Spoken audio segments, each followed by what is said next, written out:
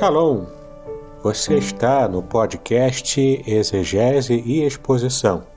Exegese on demand para você. Aqui é o Davidson Bignon.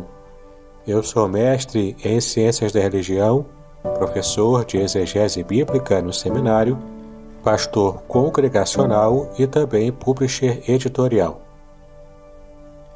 Eu ajudo pastores e líderes cristãos a fazer estudos bíblicos na igreja sem ter problemas com interpretações erradas.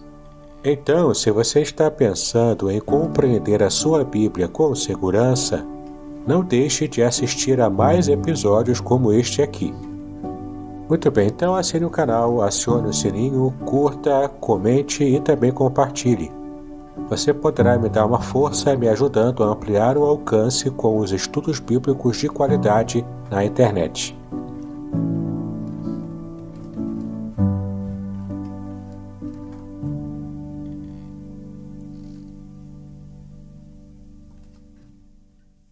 Que bom tê-los aqui. Vamos orar e já vamos chamar o pastor Davidson para que esteja aqui conosco, né? Nos ajudando, conduzindo ao estudo, introdução sobre o livro de Apocalipse, tá bom? Vamos orar então. Deus, obrigado por essa manhã, obrigado por este dia. Obrigado, Senhor, porque pelo dom da vida. Obrigado porque acordamos pudemos olhar ao lado e ver a esposa, ouvir o esposo, obrigado pelos filhos, obrigado, Senhor, por tudo aquilo que o Senhor tem feito nas nossas vidas. Peço, Senhor, por aqueles que estão indo para o trabalho, outros que estão retornando, outros que estão se organizando para ir ao trabalho, por aqueles que vão estudar, por aqueles que vão participar de um concurso, abençoa cada um deles. Abençoa, Senhor, e que o Senhor guarde, que o Senhor os livre de todo o mal. Essa é minha oração nesta manhã, em nome de Cristo Jesus. Amém. Quero chamar aqui o pastor Davidson, deixa eu colocar ele aqui em tela, senão não vai dar certo, né? Pastor Davidson, bom dia, tudo jóia, tudo bem contigo? Tá sem o som, deixa eu ver se eu consigo. Alô, alô, bom dia, pastor Aderson, tudo bem? Tudo bem, tudo jóia. Shalom a todos. Shalom, para que Deus nos abençoe, nos dê a sua graça, possa nos abençoar nesse dia, né? É um dia especial para voltarmos a estudar o livro do Apocalipse. Vamos hoje conversar para que você que recebeu a apostila, caso você não tenha ainda pego a apostila, é só solicitar ao pastor Aderson e você poderá, então, receber a apostila em PDF para acompanhar as nossas aulas, né? Muito bem. Então, é, vamos começar na aula de hoje falando propriamente do livro do Apocalipse, né? Vamos começar agora a ver toda aquela parte introdutória que nós estudamos sobre simbologia, sobre a literatura apocalíptica. Agora você vai ver na prática acontecendo aqui, na, aplicado na própria na própria leitura do Apocalipse. Né? Então, vamos falar aqui, ó, parte 4. Você pode fazer contato, então, para pedir a sua apostila, se você não tem. Pode também pegá-la gratuitamente lá no site da editora Contextualizar, que é o site www.contextualizar.com.br. Ali você também tem a apostila inteira para baixar gratuitamente, tá bom? Muito bem, então Tópico 4 da nossa apostila: o simbolismo no Apocalipse. João viu realidades espirituais indescritíveis. Notamos o seu esforço para explicar o que estava vendo. O que ele estava também ouvindo e sentindo, é claro, né? Ele faz diversas comparações na tentativa de transmitir aos leitores as suas impressões sobre o que estava vendo. Né? Por exemplo, caso é, João tivesse visto o que nós conhecemos hoje como um helicóptero de guerra, ou aqueles helicópteros né, que tem aqueles foguetes que lançam foguetes, ele não teria entendido como helicóptero, é claro, porque não existiam helicópteros na época de João. Então, ele tentaria descrever essa visão do helicóptero como um gafanhoto, e como ele via um homem lá dentro do helicóptero pilotando, era um gafanhoto com cara de homem, entende? Algo desse tipo. Então, é para vocês entenderem a, a, a mecânica de como funciona uma visão de algo que João não tinha visto e tentando descrever o que ele viu, não apenas é, falando sobre aquele objeto ou aquela arma de guerra, como nós conhecemos hoje, um tanque de guerra, um carro é, é também, né, com todo equipado para poder enfrentar, todo é, é, todo blindado no caso, enfim, né? Ele não saberia descrever. Ele tentaria descrever, mas não saberia reconhecer naturalmente o que são essas armas, o que são essa, esses objetos. Então, é, por causa disso, ele fazia aproximações nas suas comparações e na tentativa de descrever o que ele estava vendo. É? Então, ele faz diversas comparações na tentativa de transmitir aos leitores as suas impressões sobre tudo que ele estava recebendo. Assim, os termos como, semelhante e o verbo parecer são utilizados para dar uma ideia das extraordinárias visões do autor, não é? Então, alguma coisa é como aquela outra coisa que era conhecida no seu, no seu público, né? Então, algo ou alguém é semelhante a alguma coisa ou alguém. E também o verbo parecer aparece muito, né? Alguma coisa parece outra coisa. Então, ele eles usam esses recursos literários aqui. No caso, João estava usando esses recursos literários para tentar descrever e dar uma, aproxima, uma aproximação de sentido ao que ele de fato estava vendo. Ou seja, partindo do que era conhecido, comparando com o que era desconhecido, que era o que ele estava de fato vendo nas visões. Em outros momentos, ele, João, não faz comparações explícitas, mas usa as figuras de forma direta, fazendo comparações implícitas. É o caso de uma metáfora, por exemplo. Né? Então, quando eu digo que é, Fulano é, é voraz como o leão, quando eu uso esse, esse, essa partícula como, não é? eu estou já identificando linguisticamente uma forma de comparação. Agora, quando eu simplesmente faço a metáfora direta e digo, Fulano é um leão, eu estou fazendo uma metáfora sem dar diretamente uma, uma indicação de que é uma comparação, mas toda metáfora também é uma comparação, tá bom? Olha aqui uma, uma espécie de estatísticas, né? Algumas ocorrências de como, né, para fazer comparação. Vamos abrir aqui apenas alguns versículos não vou abrir todos por amor ao nosso tempo. Né? Então, você vê aí, ó, Apocalipse 1, 10, depois 14, depois 15. Olha só. Eu fui arrebatado no Espírito no dia do Senhor, que era domingo, né? E ouvi de trás de mim uma grande voz, como de trombeta, que é o como. Né? Então, para dar o reforço de como era essa grande voz, era como se fosse um chofar, uma trombeta aquela trombeta de chifre de carneiro, que já deixava os ouvintes, né, os leitores aqui de João atentos, porque quando o chofar era tocado, era um ambiente de guerra para chamar a atenção das tropas, ou em ambiente também de algum culto, de alguma festa judaica, que também era um contexto de chamar a atenção das pessoas. Lembrando que chofar ou trombeta não era instrumento musical, mas era um instrumento de, de alerta né, para uma tropa de um exército ou então para as pessoas para alguma festa. Especialmente a festa de Yom Teruah, onde se tocava as trompetas, a festa das trompetas, que em hebraico é Sheruah, é, é, Teruah, né? Verse, é, capítulo 1, versículo 14. E a sua cabeça e cabelos eram brancos como lã branca. Né? Embora também tivesse neve, os judeus conheciam a neve, que muitas vezes nós aqui no Brasil nem sempre conhecemos a neve, né? Mas os judeus sim, no, extremo inverno em Israel cai neve também, né? Então eram brancos como lã branca, ele usa aqui a, a lã para poder fazer essa comparação, como a neve também, né? A, a, a neve branca, e os seus olhos como chama de fogo. Então você percebe aqui, né, o como sendo bastante usado aqui para evidenciar a comparação.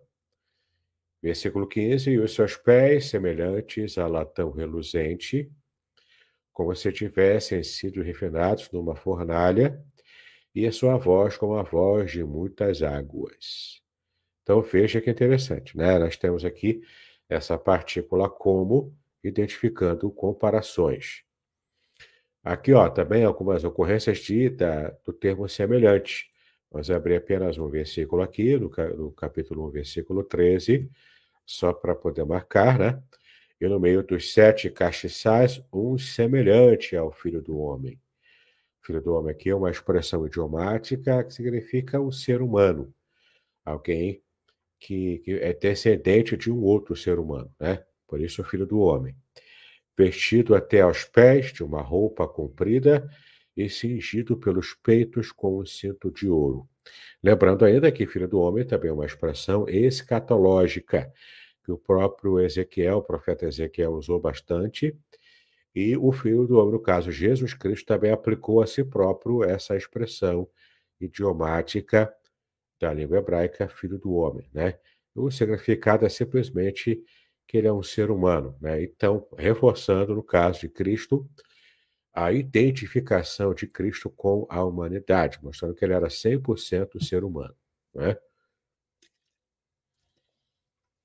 Então, esse é um exemplo da palavra semelhante sendo usada aqui para marcar uma comparação.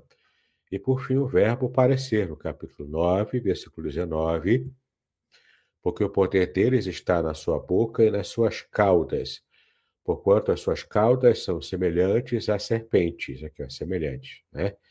Comparando as caudas desses, desse, desses seres aqui a serpentes, e tem cabeças e com elas danificam, não é? Então, ele tentando escrever, usando esses mecanismos de comparação para que os seus leitores originais entendessem. Isso é bastante curioso, porque apesar da gente não ter 100% das chaves interpretativas para compreender uma linguagem apocalíptica o que o João estava descrevendo, a gente precisa é, ter um esforço para fazer um resgate cultural, né? e então tentarmos nos aproximar e entender tudo. Apesar de nosso distanciamento, e da nossa dificuldade, esse distanciamento temporal também prejudicava, de certo ponto, a compreensão do próprio João e dos seus leitores e ouvintes iniciais do que ele estava vendo. Porque eh, hoje nós entendemos certas figuras como sendo provavelmente referências a helicópteros, a aviões, a carros, a guerra, né? carros de guerra, exércitos, até, quem sabe, até robô, é? Mas é, eles na época não faziam ideia de que era algo parecido com isso. É? Então, o distanciamento é era ruim para eles e também é ruim para nós. A gente precisa, então, buscar é, esse, essa aproximação na, na, feitura da exegese, vendo na língua nos originais, no caso do Novo Testamento, né, que foi escrito o Apocalipse, o, o grego koine, e também buscar compreensão na cultura cultura judaica, cultura e arqueologia, na história também, né? Tudo isso nos ajuda a nos aproximarmos mais do texto bíblico.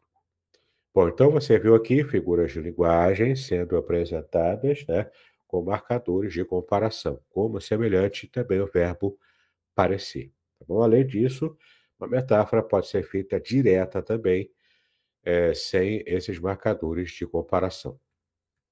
Bom, os símbolos usados pelo autor eram bem familiares para os seus destinatários.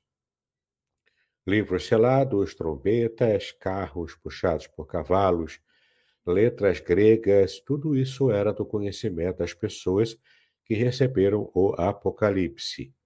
Ao lermos, precisamos saber o que cada coisa significa e qual era o seu sentido naquela época. Talvez não consigamos isso para todos os itens envolvidos, mas este é o caminho a ser trilhado pelo intérprete. Né? Precisa, portanto, é mergulhar de verdade na cultura, na história, arqueologia e na língua original também, para que haja aproximação de sentido. Bom, quando pensamos em livros, logo imaginamos blocos de páginas de papel envolvidas por capas protetoras, né, que é chamada de códice. Como nós sempre né, estamos anunciando aqui, né, esse formato padrão de livro que você vê aqui. Né? O formato com a lombada, ou seja, várias páginas que estão unidas, formando esse bloco né, de várias páginas, colados com uma lombada e protegidos por uma capa, né, como essa capa aqui. Nós, quando lemos sobre livro, a gente imagina esse formato de livro, que era um formato criado praticamente na Idade Média, um pouco antes da Idade Média, e que era chamado de códice. Né? É o livro como nós conhecemos hoje. Mas na época bíblica, o livro era em formato de rolo. Os livros mencionados em Apocalipse eram rolos de pergaminho feitos com a pele de animais. Então você curtia a pele de animais limpava, né? Limpava o pelo ali do, da pele, deixava ressecar um pouco, cortava em, em retângulos, e esses retângulos eram colados um do lado do outro, formando um rolo. Não é como um rolo de papel de cozinha, né? O papel é, é, é para limpar a cozinha, ou papel filme também, né? Então, o filme é transparente, não, não cabe bem aqui a comparação. Mas um rolo normal, que você está acostumado a ver, era daquele jeito, né? Se colocavam duas hastes, enrolava o, o, o pergaminho, né, com o texto escrito em hebraico ali, ou grego, então abria-se o rolo e se lia, né? Às vezes, quando não era um livro, quando era apenas uma carta menor, uma folha de, de, de papiro ou de pergaminho já servia para resolver a questão, né? Aí não precisava de haste, era feito apenas com papel enrolado mesmo, né? no caso, o pergaminho enrolado e selado com, com selos. Né? Coloca-se ali a resina e marcava o selo com o um anel ou um sinete mesmo que usava para marcar. Então, selar. Um livro selado desse jeito não era difícil de se quebrar. A questão não é força para quebrar os selos e abrir o livro aquilo era muito simples de quebrar, não era muito, muito, muito simples mesmo de fazer, né? O que está em jogo aqui é dignidade para abrir, porque só quem podia abrir é quem era digno de receber o, livro, porque ele é o destinatário oficial. Né? Então, a questão aqui era dignidade para abrir os selos do livro e não propriamente a força ou engenhosidade para abrir. Né?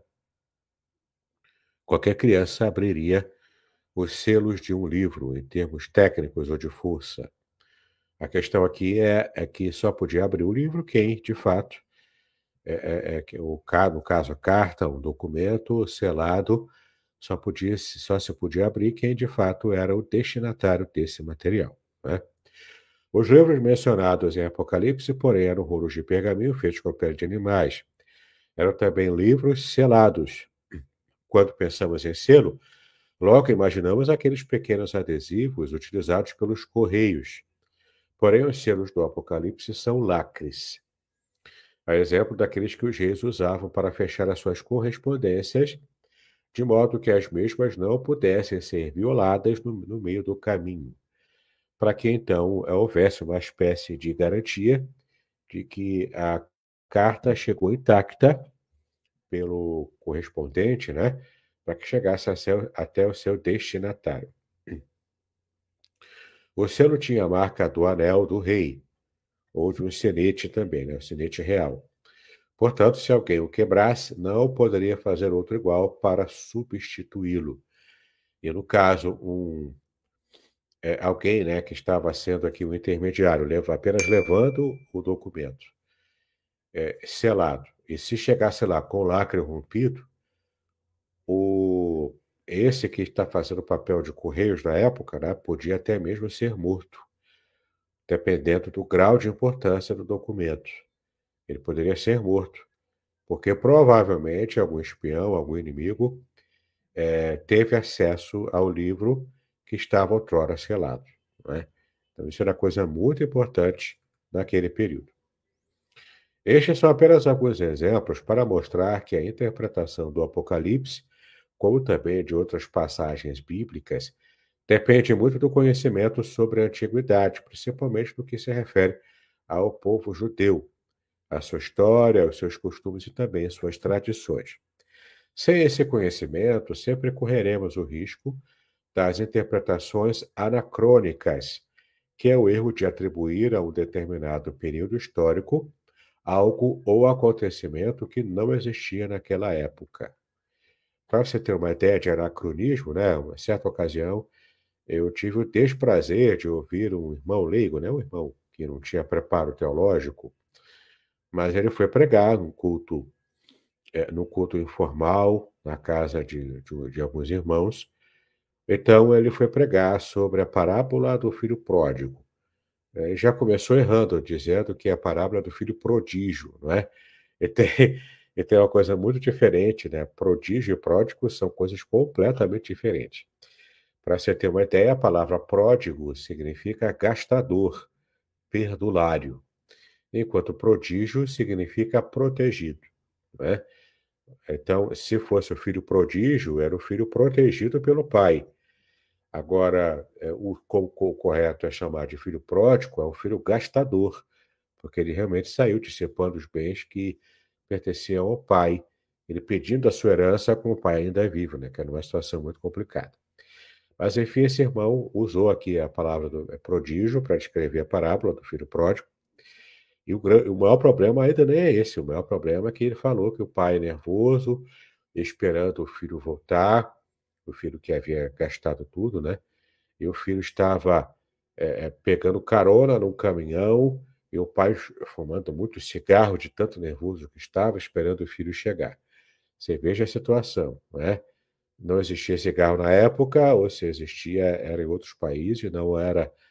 Provavelmente não existia mesmo na época bíblica, e muito menos caminhão, não é para o jovem pegar carona. Então, isso é um exemplo de anacronismo, é você colocar elementos atuais numa época em que nem se sonhava existir tais é, elementos. Né? Bom, não podemos interpretar, então, o texto bíblico apenas com o sentido atual das palavras, ou com base também no gosto ou na opinião pessoal. As regras da hermenêutica, que é a ciência e arte da interpretação, precisam ser levadas a sério para que haja boa compreensão do livro do Apocalipse. O simbolismo do Apocalipse, utilizado como figuras, por exemplo, fenômenos naturais, cores, minerais, que eram as pedras preciosas citadas no Apocalipse, alguns animais que aparecem ali, né, de modo simbólico também, relações humanas e até nomes é, significativos da história judaica, como Jezabel e Balaão, que também aparecem ali. Né? Então, todos esses elementos têm simbolismo. Animais e até cores, números também, né? Por que sete selos? Por que sete taças da ira? Não é? Porque é, sete chofar ou sete trombetas? Então, tudo isso também tem simbolismo, tá? As estrelas, o que, que significa, tudo isso aí ver, né? Podcast Exegese e Exposição. Exegese on demand para você.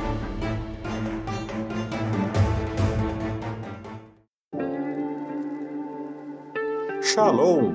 Aqui é o Davidson Pignon. Eu ajudo pastores e líderes cristãos a fazer estudos bíblicos na igreja sem ter problemas com interpretações bíblicas erradas. Então, se você está pensando em compreender a sua Bíblia com segurança, não deixe de assistir a mais conteúdos como este aqui neste canal.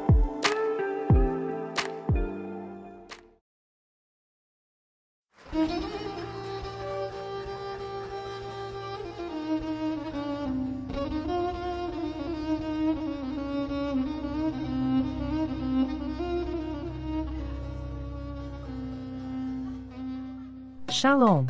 Quero falar sobre o livro Revelações Originais do Salmo 23. Nesta obra, o reverendo Davidson Bignon nos convida a minerar pepitas de ouro escondidas no rico solo do Salmo 23.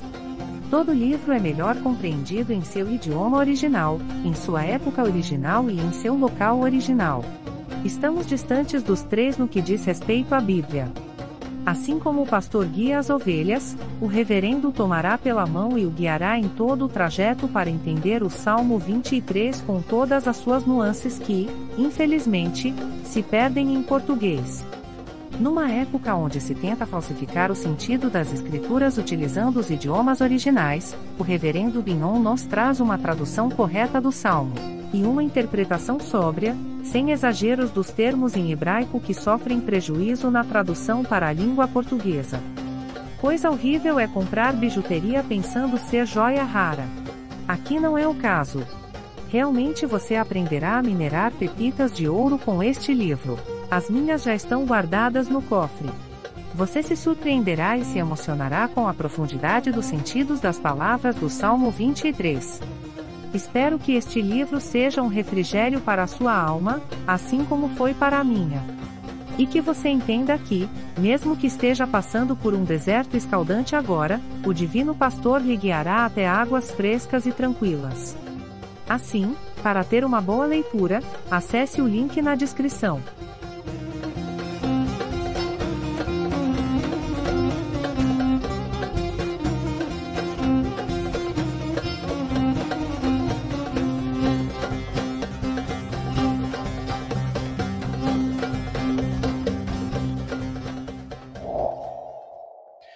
Vamos falar um pouco aqui sobre numerologia, ou seja, simbolismo numérico na cultura judaica, o que, e que aparece propriamente no livro do Apocalipse. Agora você vai entender algumas significações simbólicas de números e o modo como eles aparecem no livro do Apocalipse, tá? Bom, a numerologia tem sido bastante valorizada atualmente devido à onda crescente de misticismo que envolve nossa sociedade. É, aqui no caso, numerologia no sentido esotérico, né? E não é o nosso caso aqui. Os números têm sido considerados elementos de sorte e azar, e por meio deles, muitos adivinhadores tentam prever o futuro das pessoas. Alguns povos utilizaram as próprias letras do alfabeto é, como algarismos, atribuindo-lhes valor numérico. É o caso da língua hebraica as letras hebraicas, consoantes hebraicas, elas têm valor numérico. Então, por exemplo, a primeira, a primeira consoante hebraica é o Aleph. Ela tem o valor numérico 1. Então, às vezes, os versículos são referenciados na Bíblia hebraica dessa maneira. Por exemplo, Bereshit, que é Gênesis em hebraico, né? Bereshit. Aleph, Aleph. Ou seja, o primeiro Aleph é o capítulo 1, e o segundo Aleph é o versículo 1. Então, Bereshit, Aleph, Aleph. Ou seja, Gênesis, capítulo 1, versículo 1. Então, pelo fato das consoantes terem valor numérico, é, também há uma ciência que é utilizada na, na língua hebraica, na cultura hebraica, chamada gemátria. A gemátria é justamente o cálculo numérico envolvendo as letras que aparecem nas palavras em hebraico. Tá? É, é um estudo que os judeus fazem e levam também em conta os valores numéricos das palavras das suas interpretações, o que é bem interessante. Né? Muito bem. Então, alguns povos, inclusive o hebraico, utilizam as próprias letras do alfabeto como algarismos, atribuindo-lhes valor numérico. Assim, o nome pode ser transformado em números e ter o seu valor totalizado. É o caso da gemátria. Né? Isso ocorreu, por exemplo, com algumas letras do alfabeto romano também, na época do primeiro século, na época do apóstolo João. Né? E também com o hebraico, como eu já expliquei. O fato de se obter um valor para o nome não nos diz nada para nós aqui da cultura ocidental, né? a não ser que os números representem algum valor moral ou espiritual, uma bênção ou uma maldição também, tá? Vamos ver aqui alguns exemplos de números e seus significados. Olha como, eu, como vai fazer sentido para você todos esses números aqui que aparecem, inclusive, no livro do Apocalipse, né? A tradição judaica relaciona alguns números a determinados conceitos religiosos ou cósmicos. Então, quando aparece o número 1 um, na cultura judaica, significa unidade. Tá? Pode ser a unidade absoluta ou pode ser a unidade também composta. No caso de Deus, como nós somos trinitarianos, entendemos que Deus é uma trindade, ou seja, é uma unidade divina composta de três pessoas diferentes. Tá bom? Essa unidade composta, que é como também acontece com a família, né? A família é uma unidade composta. A família é um núcleo familiar composto, é um núcleo composto de um homem, uma mulher, e se tiver filhos também, os filhos fazendo parte dessa unidade familiar. É uma unidade composta. A Trindade também é assim: Deus é uma unidade composta e não uma unidade absoluta, como uma única entidade, né? como um único ser ou uma única pessoa.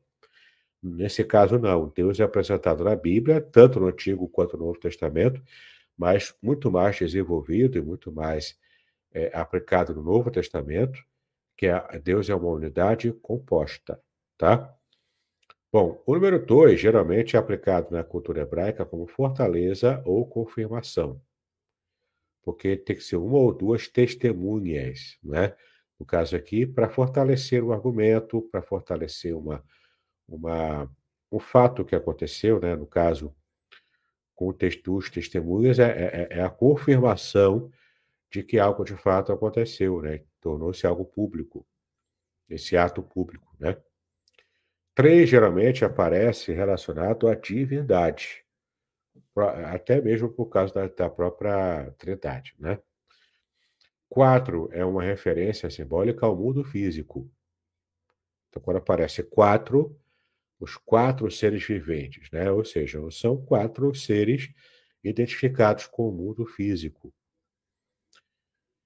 Número cinco significa a perfeição humana, ou seja, é algo perfeito, mas dentro dos limites da humanidade. Não é uma perfeição absoluta, mas é uma perfeição relativa, né? aplicada ao ser humano. Número seis é o número de homem, ele representa a falha humana. Então, se o 5 representa a perfeição humana, o 6 representa a falha humana. Agora você entende por causa do, do 666, que é o número da besta. Mas por que, que é 666? Três vezes, rep representando aqui a divindade, portanto, potencializando o número 6. E o número 6 é o número da falha humana.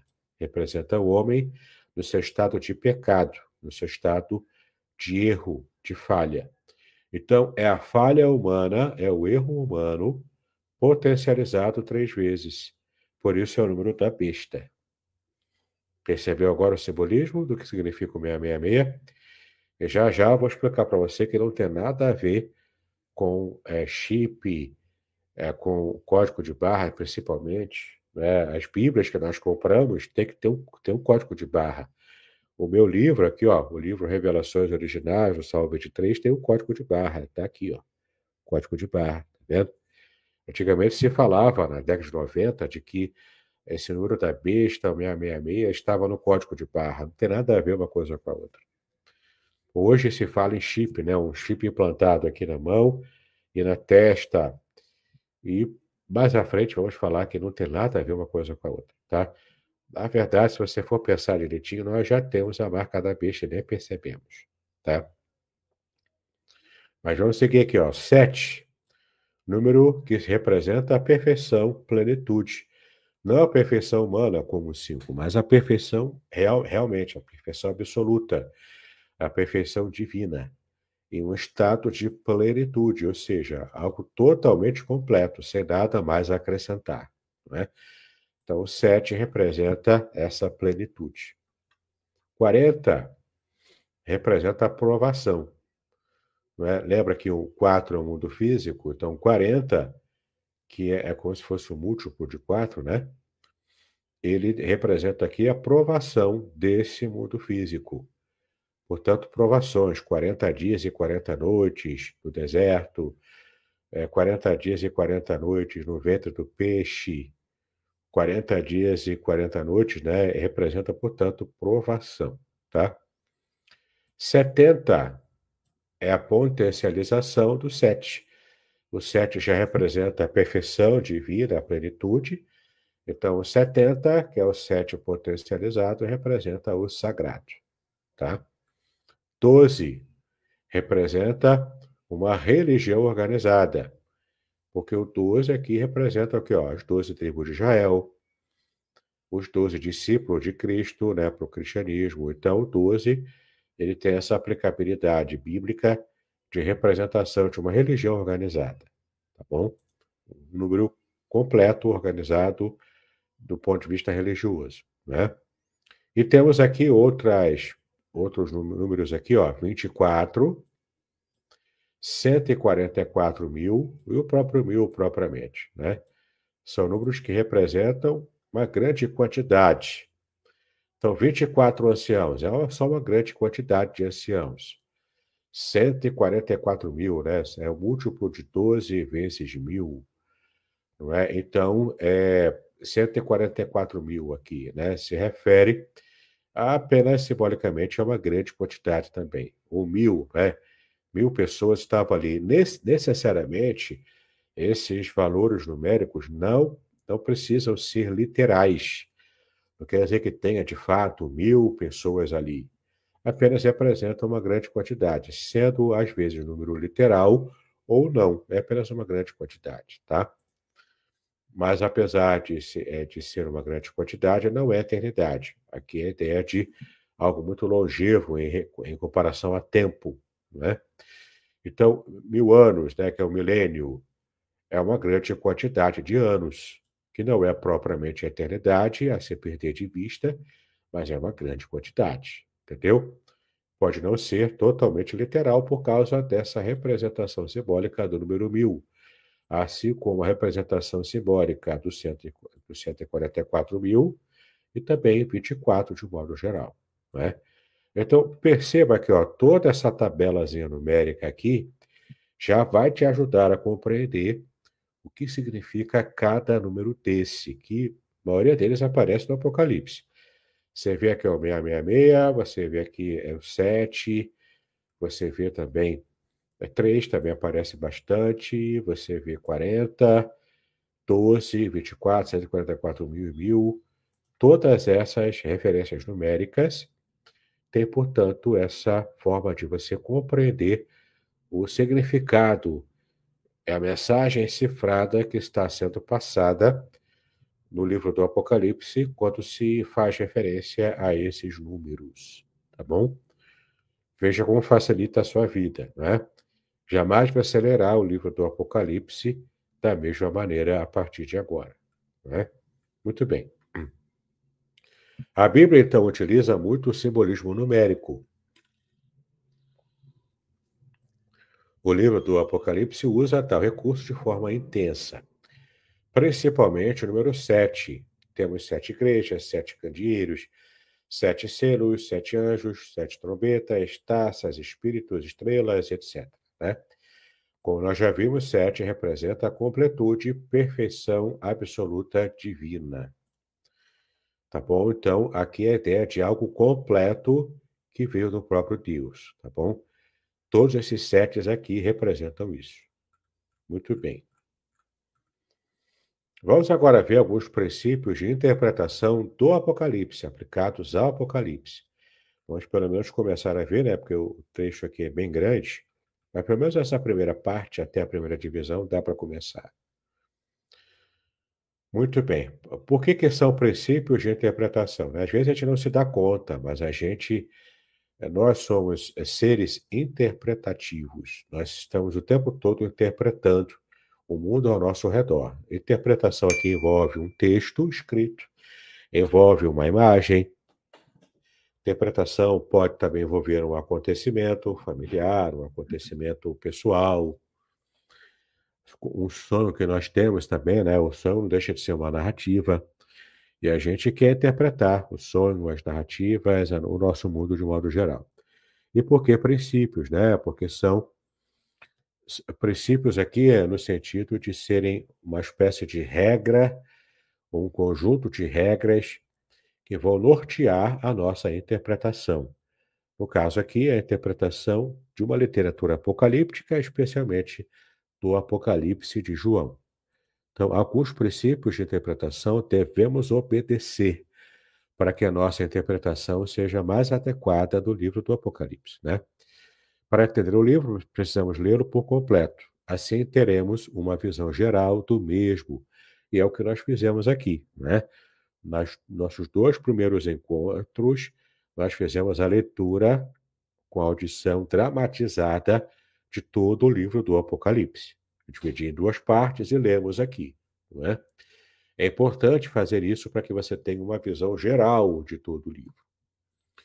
Perceberemos então, com essa atitude, que a intenção do autor e dizer, perceberemos a intenção do autor e a sua mensagem geral aplicada no livro. Caso contrário, se lermos um versículo aqui e outro lá, de modo desordenado, terminaremos com uma coleção de retalhos desconexos. Lendo todo o livro, vamos descobrir que ele é autoexplicativo em alguns pontos, como se vê em Apocalipse 1, 20, que a gente pode dar uma olhadinha lá, né? Já que é um exemplo que é importante, né? Apocalipse 1, 20, ó, o mistério das sete estrelas que viste na minha destra, e os dos sete castiçais de ouro. As sete estrelas são os anjos das sete igrejas, e os sete castiçais que viste são as sete igrejas. Não é? Aqui está dando explicação no próprio contexto do capítulo do que significa as sete estrelas e os sete castiçais, ou candelabros. Não é?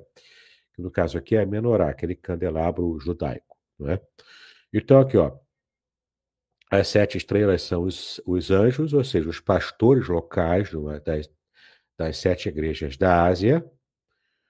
E os sete castiçais, os castiçais aqui são as sete igrejas propriamente, igrejas cristãs da Ásia Menor. Né? Então, veja aqui, o contexto no versículo 20 já explica o que ele fez referência nos versículos anteriores sobre as sete estrelas e os sete castiçais, tá vendo? Então, o próprio contexto, às vezes, já te dá a explicação do simbolismo que aparece nos versículos anteriores. Às vezes não aparece também essa explicação direta. Nesse caso, você tem outros mecanismos para poder recuperar o significado, tá bom? Podemos ler o capítulo 12, versículo 5, onde o autor menciona o filho varão aquele que regerá as nações com vara de ferro. A comparação em Apocalipse 19 nos fará compreender que aquele que regerá as nações com vara de ferro chama-se Verbo de Deus, Rei dos Reis e Senhor dos Senhores. Né? Vamos dar uma olhadinha lá? Apocalipse 19. Vou ter que abrir aqui o texto, né? Apocalipse 19, do versículo 13 em diante, né? No caso. Deixa eu ver aqui, confirmar. De 13 a 16, né? E estava vestido de uma veste tingida com sangue, pelo qual se chama a palavra de Deus. E seguiam-se é, os exércitos no céu e cavalos brancos, vestidos de linho fino, branco e puro. E da sua boca saiu uma, uma aguda espada para ferir com ela as nações, e ele as regerá com fara de ferro, e ele mesmo é que pisa o lagar do vinho do furor, era de Deus, do Deus Todo-Poderoso. Olha que imagem forte, né? O lagar do vinho do furor da, e da ira do Deus Todo-Poderoso. O lagar é o quê? É aquele tonel cheio de.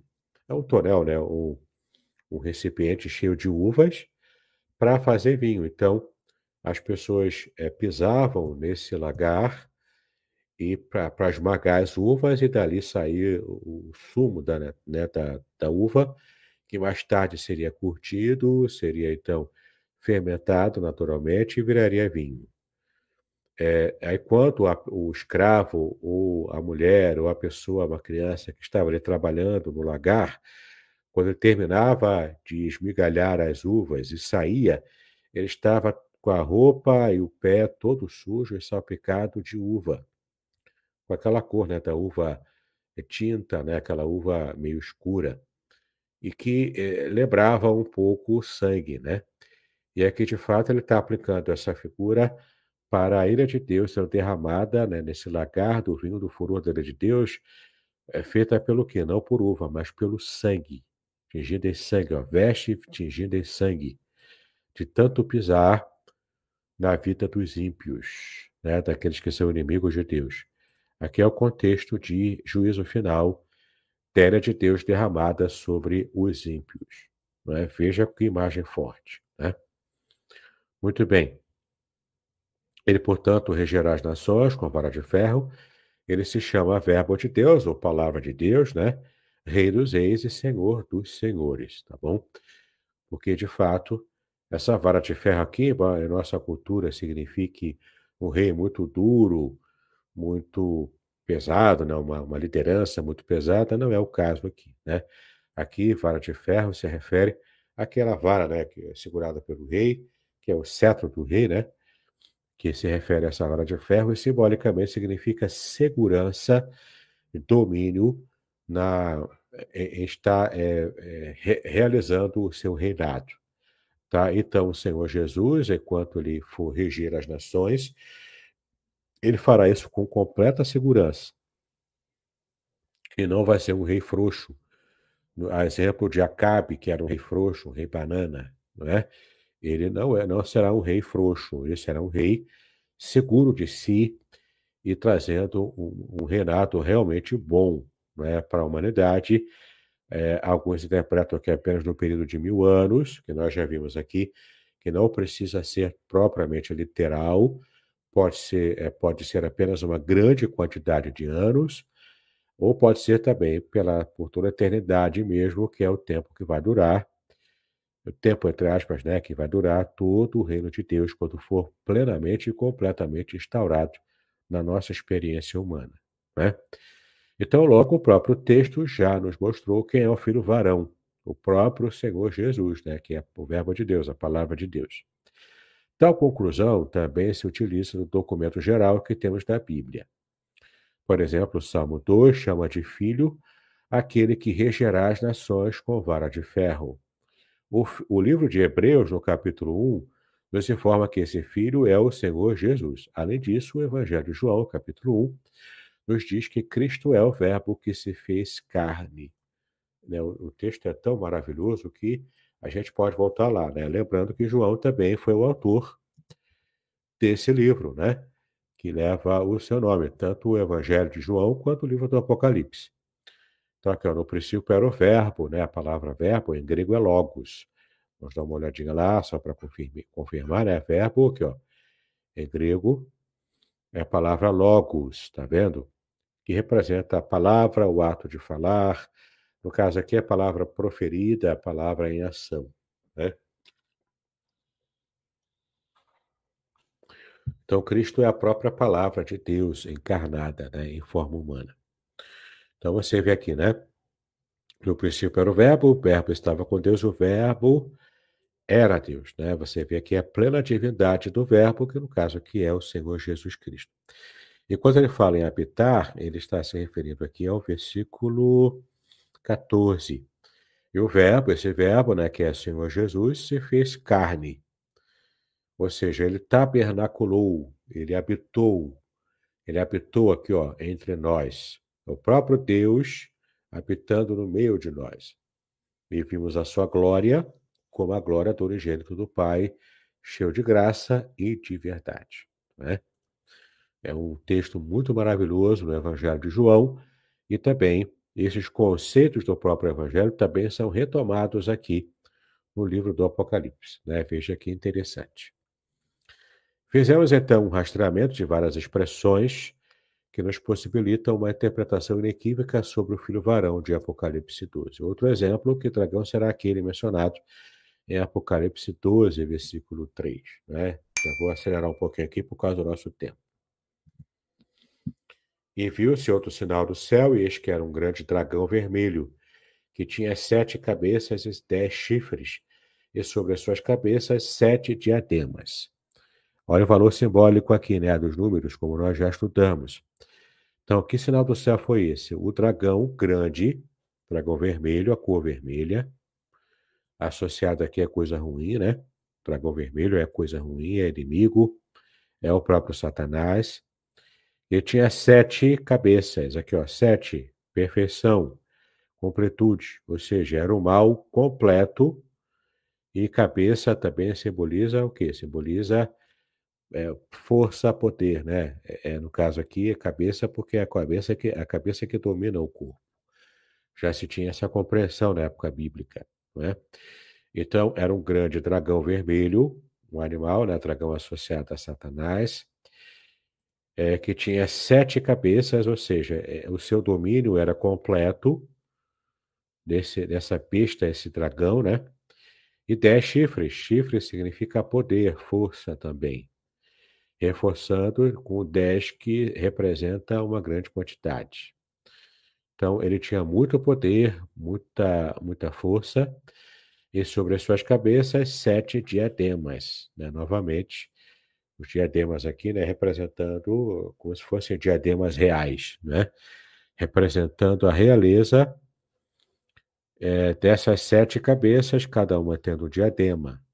Ou seja, é o, completo poder, a completa força para o mal aplicada aqui. Né? Bom, vamos adiantar aqui. Se lermos até o versículo 9, teremos a resposta. No, no capítulo 20, versículo 2, a explicação é repetida. O próprio texto diz que o dragão é o diabo, também conhecido como antiga serpente. Que serpente é essa? Aquela de Gênesis 3, na tentação de Eva, né? de Adão também. Adão estava junto ali, né? como nós vimos em estudos anteriores aqui também. Observa-se então que existe uma linguagem bíblica que muitas vezes permite que o texto de um livro possa ser interpretado por outro livro bíblico. Né? Então, fazendo essa confrontação de textos, a gente consegue chegar à compreensão, tá bom? Eu vou parar por aqui, o nosso tempo já não vai dar, preciso separar um tempinho para perguntas e respostas. Então, na próxima semana, se Deus nos permitir, vamos retomar aqui o de quem é o Cordeiro de Apocalipse 5, que para a gente, eu já tenho um pouco de conhecimento bíblico, a gente já consegue dar um spoiler aqui, sabemos que o Cordeiro aqui representa o Senhor Jesus, tá bom? Mas vamos ver elementos aqui para poder é, confirmar que o Cordeiro é o Senhor Jesus Cristo. Tá bom?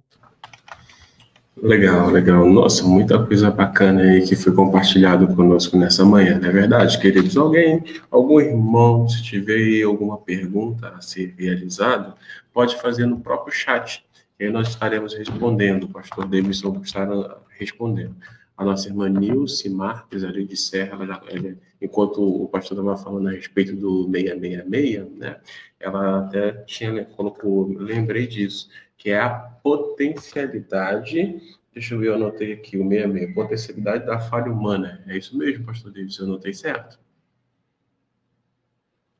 É isso mesmo, né? É potencialização da, do ser humano enquanto estado de pecado, né? dentro da falha, né? Alguns dizem, ah, o 666 é o chip que vai plantar aqui agora na mão, né? Implanta na mão, implanta na testa. Pode até acontecer de implantar o chip, né? Em vez de usar celular, vai passar a usar o chip dentro da gente. Pode também, quem sabe, ser uma espécie de marca do, do final dos tempos. Mas você quer saber qual é a, o que significa a marca da besta, se temos ou não hoje? Nós já temos. Esse aqui, o celular, é um exemplo de marca da besta. Mesmo que, ah, mas eu não uso celular, eu sou das antigas, mas você também já está rolado na marca da besta, meu chapa. Você tem um CPF, não tem? Você tem um RG. Você está rolado pelo sistema de governo mundial. Isso aí, de um modo bem mais amplo, é a marca da besta. Todo ser humano, para poder existir, para poder comprar, vender, tem que ter o, o registro na, na, no sistema de governo do país que a pessoa está. Não dá para viver no país sem documentos. Você tem algum documento, você é reconhecido e percebido pelo sistema de governo mundial, tá? No caso, o sistema de governo que funciona no nosso país. Então, aqui no Brasil, se temos um documento, se pagamos impostos, o, o governo nos enxerga. E se o sistema governamental nos enxerga de modo lato senso, de modo amplo, isso é a marca da besta e você já está, já tem a marca da besta, porque sem essa marca você não vive em nenhum país. Entendeu? Então, vamos parar de paranoia. Esquece é, código de barras, esquece chip. Nada disso é marca da besta. Eu vou explicar para você o símbolo da marca da besta. Por que marca da besta?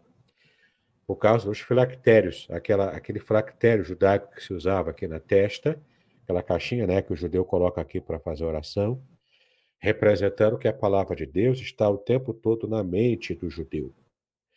E a outra parte dos filactérios, que vai, vai rolando aquela tira de couro do braço esquerdo, que está ligado ao coração, até esse dedo aqui, né? Até esse dedo aqui, ó. Até aqui. Ele termina aqui quando a pessoa fecha aqui. E aqui também no ombro tem também uma caixinha, que tem uma porção da lei judaica ali também, da lei de Deus ali. Tanto na caixinha que fica na testa quanto na que fica na mão, tem um pedacinho de rolo ali com um resumo da, da Torá, da lei. Então, quando fala que a marca da besta vai na testa e vai na mão, a mão simboliza as ações da pessoa. E na testa simboliza os pensamentos. Ou seja, para o judeu devoto, praticante, a lei de Deus está o tempo todo na mente e nas ações, na prática de vida. Por causa desse símbolo né, dos filactérios para fazendo o espelhamento para a marca da besta é o tempo todo a pessoa que está ali é ligado ligado ao sistema de governo, ao sistema da besta, é o tempo todo a pessoa pensando no sistema da besta em como ganhar dinheiro, como fazer, como ficar rico. Tudo isso é marca da besta. Entendeu? A pessoa o tempo todo pensando só nisso. É como diria né, naquele esquema da, escola do professor Ramudo, ele só pensa naquilo, não é? Só pensa na marcada besta o tempo todo, no sistema, e ficar rico e coisa e tal. E na mão, representando as ações. Então, a ação dele, tanto quanto o pensamento, é só convergindo para alimentar e fortalecer o sistema de governo. Por isso que quem é cristão, conservador, né, em geral, não quer um governo é, mundial, e mesmo o governo nacional, que seja muito chato, muito grandão, um governo muito grande, um Estado muito grande. A gente, em geral, corre dessa ideia. A gente prefere um Estado pequeno, porque um Estado pequeno não tem tanto poder assim para dominar aqueles que estão é, submetidos a esse Estado. Não tem como viver sem estar a, a, alocado pelo Estado. Né? Para você comprar, vender, sobreviver, você tem que ter um CPF, tem que, ser, tem que ter um CNPJ, se for uma empresa, tem que, ver um, tem que ter um RG. E se colocar o chip aqui na minha mão, só vai facilitar o que, já, o que eu já tenho que ter. Não é?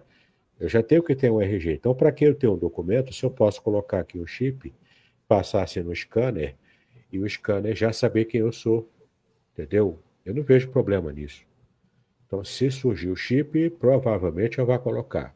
Talvez eu nem seja o primeiro da fila, mas mesmo eu não sendo o primeiro da fila, eu, eu não vejo problema em colocar o chip na mão. Né? Na testa eu já acho mais complicado porque está muito perto do cérebro.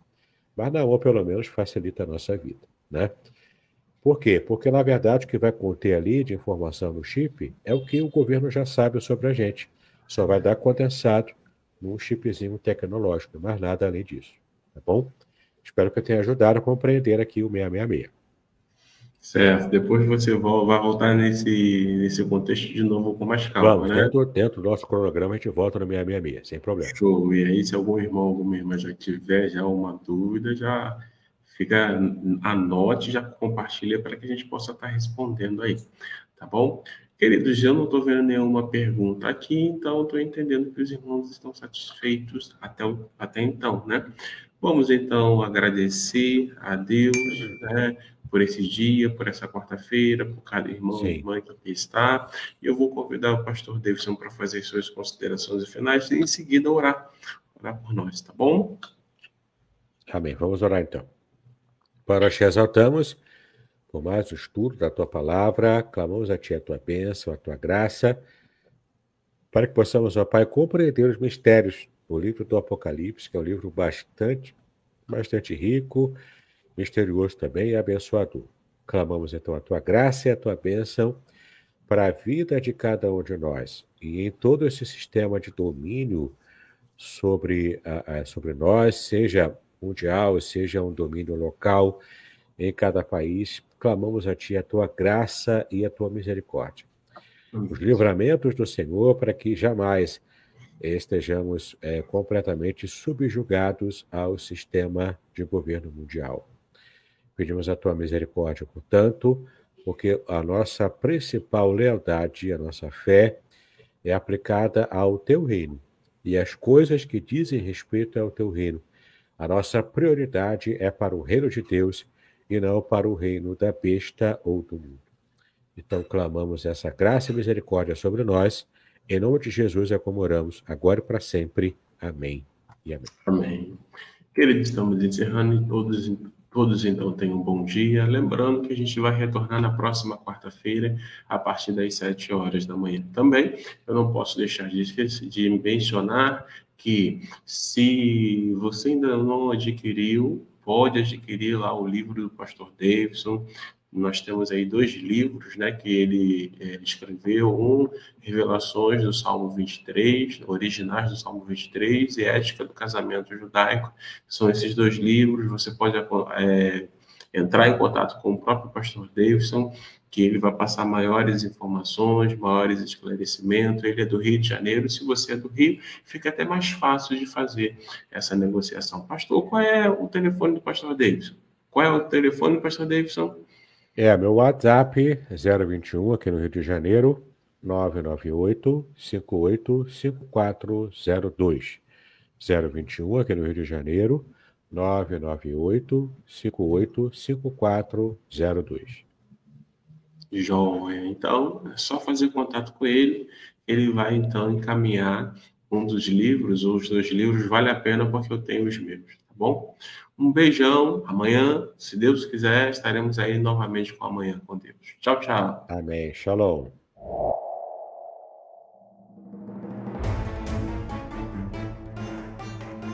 Muito bem, agora o que eu gostaria de ver é a sua participação. Entre em contato comigo, compartilhe a sua experiência comigo e quem sabe até se você enviar em formato de áudio, eu possa aproveitar a sua experiência para apresentar no próximo episódio do podcast Exegese e Exposição. Eu sou Davidson Pignon e eu ajudo pastores e líderes cristãos a fazer estudos bíblicos da igreja, sem terem problemas com interpretações erradas. Se você então está pensando em compreender a sua Bíblia com segurança, não deixe de assistir a mais episódios como este aqui. Então, Assine o canal, acione o sininho, curta, comente e também compartilhe. Ajude-me a ampliar o alcance com estudos bíblicos de qualidade na internet. Que Deus abençoe os seus estudos, paz e bênçãos sobre a sua vida.